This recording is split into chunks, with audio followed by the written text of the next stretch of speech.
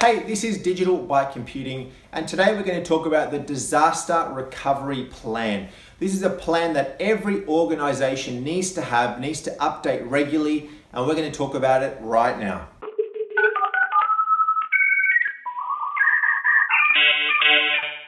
Hey, my name is Emilio and I work in the IT industry. And whether you work in a small, medium, or large business, you need to have a DRP or a disaster recovery plan in place. This plan is imperative to know what your company will do in the case of a disaster, hence the name suggests. In, this, in the event of a disaster, what is your disaster recovery plan? Now we are focusing primarily around the IT aspects of a disaster recovery plan. But what you'll find is most businesses, or some businesses, not all of them, will have a general DRP, a disaster recovery plan that involves a number of different components, and a component of that will be the IT component of that DRP. So that is what we're focusing on. So once you have an established DRP plan, there should be places where you can easily access it uh, whether if it's um, on you know various servers across your network, whether if it's on your intranet, you obviously should have printable copies because if your networks are infected, if your you know if your systems are down, you need physical printed copies. There could be copies given to certain VIP, certain partners in your organization. Make sure that there are multiple copies so that in the case of a DR, you do have copies available to be able to follow. So my general DR plan, the start is I'm just going to give a general overview. What is the DR plan? What is the DRP? What is it about? Who am I going to uh, invoke if, if, this DRP happens? You know, um, talk about things such as this is going to be used for IT in the event of a disaster. So you want to have your usual sections in this document. You know, who, who is this uh, document for? Uh, you want to have such as an overview, a scope, an audience, those sort of sections where you can fill out that are going to be relevant for your organization. You then got what's called a DRPO or Disaster Recovery Plan Organization. This is essentially a small group or a large group, essentially it's a smaller company of people that will get together when a disaster recovery scenario occurs. So in the case of a disaster, there needs to be an allocated group of people available or allocated that they know what their responsibilities, what their roles and their responsibilities are in the case of a disaster. This could be members of perhaps members of the board. It could be members of you know upper IT management. Could be members of your HR, your, your finance committees, for example. In an IT scenario, you're going to have members such as particular technical people that have particular technical skills um, to be able to invoke and actually get your systems up and running and be the central points of contact when it comes to your disaster recovery operations. You want to have a DR coordinator in place as part of your organization. This is the person that is essentially going to be running the show. The ones who are going to initiate a DR scenario, the ones that are going to be you know, in contact with all the necessary parties, the third parties, and the people that are inside your business to be able to go and coordinate and effectively execute this disaster recovery plan. You'll also then have your DR infrastructure team. Now, depending on the size of your organization, this group could be small, could be large. You may have a small group that can sort of bundle together into this infrastructure team, or you could have more specialized roles. But your infrastructure team will generally be made up of some form of infrastructure management, uh, somebody that's responsible for the network, someone that's responsible for servers, for storage, for security, um, perhaps somebody that can do some sort of desktop, laptop support if, if there is a scenario where they need to have that expertise. You'll need to have somebody that is proficient in the backup and the disaster recovery um, setup of your organization. This is something that is imperative. So obviously before you invoke some sort of a DR, you obviously want to have some sort of um, backups already in place. Backups that are in place every single day, that they're running, that your servers are up to date, that they're going off site, you know, and that you can go back in time if you need to. Um, there's no point in having backups and keeping them on site because in the scenario where your building burns down or there is an issue in your building itself, then you won't be able to recover those backups. So making sure that there's somebody available on backups that will be able to give you, um, give the coordinator a view as to how to restore any services that may have been lost as part of this disaster. And then you want to have some application people involved as well. So on top of your um, your infrastructure team, which are the ones who are going to be core, you know part of your core infrastructure, your networks, your storage, your servers, etc., etc. You want to have people who are now going to be responsible for restoring or, or giving the best direction um, to restore services on top of the infrastructure, right? So people such as your database admins, if you've got third-party software, you know, whether you have to go to third-party providers outside that can actually give you um, advice on how to restore certain systems. So this is going to be a group of people, whether you have one pool of application DR people or whether you're breaking it up, there needs to be people on here that will be able to be contactable in the case of a disaster to be able to restore the applications to the infrastructure once the infrastructure is all back up and running. Picking the group of people that you are going to have as part of your organization are, is extremely important. You want to make sure that there are people that are reliable. You want to make sure that there are people that you can call up at 3 a.m. when the building has burned down or your data center has gone and they're available and they know how to do their thing. You don't want to have people on board that are going to be um, delaying your process of you getting your operations back up and running. Because if you're watching this, you are interested in getting your systems up and running as quickly as possible. So make sure you have people on board that are quick to respond, that know how to respond, and that know their stuff. Now, also don't have reliance necessarily on one person. If you have a if you have a team of network people, don't rely on one network person only. Perhaps have a couple or three people that are in networks um, that are sort of on standby and that are all part of this network team, for example, so that in an event of a DR, if one person is unavailable, you can call on a second person. A communication plan and assembly. What is the communication plan? What is the medium going to be for us to communicate with everybody? If your emails are still up, let's say in the scenario where your, your data center is gone, but your emails are cloud-based, you know, they're hosted up on the Cloud Office 365 or something like that, you may still be able to contact people via email, but the best scenario is definitely to have a some sort of phone. There could be a particular phone number that you've got configured that is used for disasters only. But you need to outline what your communication plan will be. Who, what is the communication medium going to be? And where is the assembly area going to be? In the case of a disaster, where do we go? Where do we assemble? If the building is available, but maybe your data center is gone or parts of your comms center are gone, you can still perhaps meet at your office. If that's unavailable, you need to have some sort of alternate meeting place where you can discuss, um, you know, what, what do we do? You also need to have a disaster recovery review panel listed in your DRP.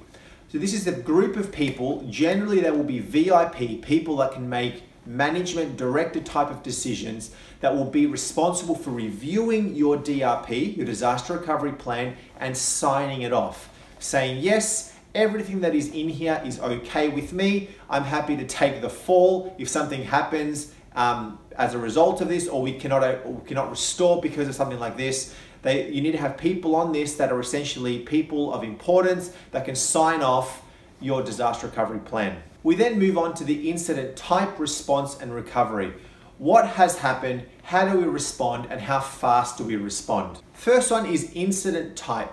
What has happened? Now, there are many, many different types of incidents, right? A disaster may not just be the building burning down, we need to find somewhere else to, to set up shop and get all our IT back up and running there, there should be various different types of incident types listed in your disaster recovery plan. Things such as your data center is unavailable or your com center is unavailable, your head office is unavailable, your network is down, perhaps your, your ISP is unavailable, you know, your, your telecom provider is now no longer available. That would be scenario for disaster because you can't communicate with anything. Loss of a primary server a loss of a storage medium, a loss of a network device inside of your com center. If your primary SAN or your primary storage medium is gone and all of your servers are gone, that's case for a disaster. A power failure, your building or your data center has run out of power. The UPS systems, you know, the backup generators are all gone, they're run out. Cyber and hacking attack disasters. These are coming more and more common every single day, but they are a real threat where a business has been infected, systems are out available, you perhaps got ransomware, you, you're, you're getting pop-ups everywhere, your systems are out of, out of whack, you have to invoke disaster recovery. environmental pandemic or other. These are things that are out of your control. There's been a, a natural disaster. There's some sort of virus going around, you know, bubonic plague, some crazy stuff going on. The war, there's a war going on. These sort of disasters are very rare, but they are very real, and they're very real in a lot of places. So you need to have plans in place where, let's say, there's a huge infection taking place in the in the CBD area, perhaps where your building is is um, located in the central business area, you know, downtown. You have to go somewhere else because that area is unavailable. So each one of these incidents will initiate a different response and recovery.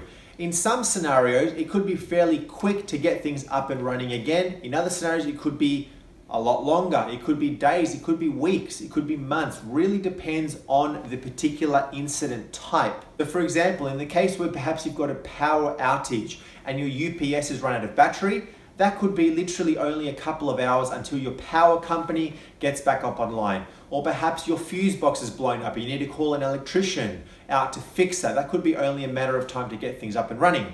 If your data center has burnt down, it's no longer available, that could be several days or weeks because it requires you to set up shop in a new data center, purchase new equipment, recover data, etc. Each one of these scenarios will require a different response.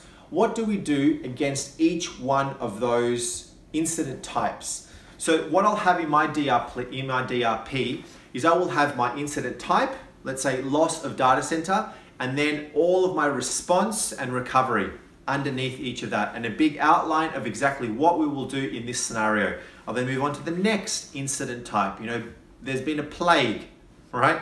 What do we do in that scenario? There's now been a, um, a power outage. What do we do in this scenario? So you break it down based on the scenario.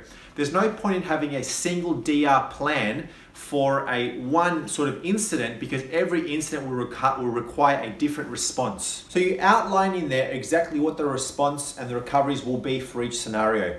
You want to have who is responsible for what. What is the role now of your disaster recovery um, organization? So this plan that we talked about, this organization plan that we talked about, where you've got your coordinators, you've got your infrastructure team, you've got your application guys, what is their roles now? What are they responsible for doing?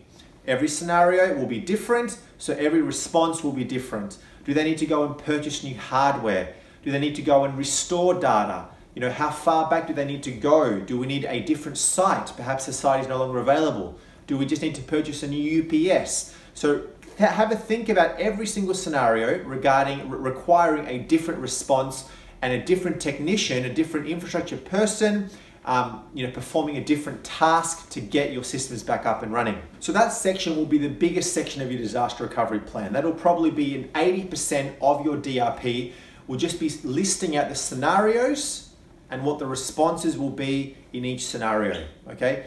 Think about some scenarios in real life cases where things have gone wrong and then allocate your resources accordingly and give them particular tasks to do in those scenarios. Once the fire is out, this is post incident. Once your fire is out and everything is now back up and running, you now need to review your disaster recovery plan and how it all went. So my general recommendation is within seven days, get everybody involved, all the necessary parties involved together in a big meeting room and discuss what happened, how did we go, what can we do better next time. Do it within seven days because the longer and longer you wait, your you know people's minds are going to get sketchy. You may not have documented everything as the as the disaster was taking place because you've got better things to be doing. You've got to be getting things up and running so the sooner you do it the better it is and the better you will perform the next time a disaster happens talk about things such as what worked well what didn't work well what can we do better next time? Document as many things as you can in this open session.